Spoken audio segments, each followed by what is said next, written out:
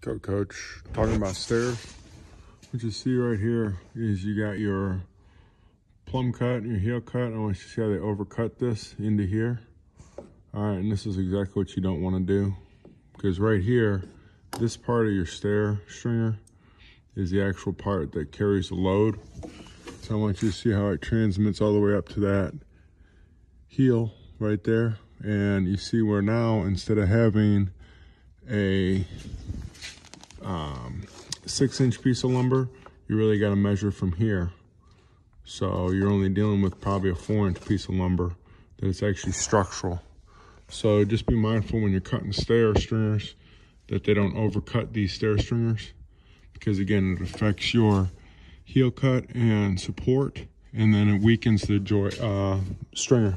So some people come in here like this and they'll do a two by four uh, splice now the code doesn't say anything about spicing them.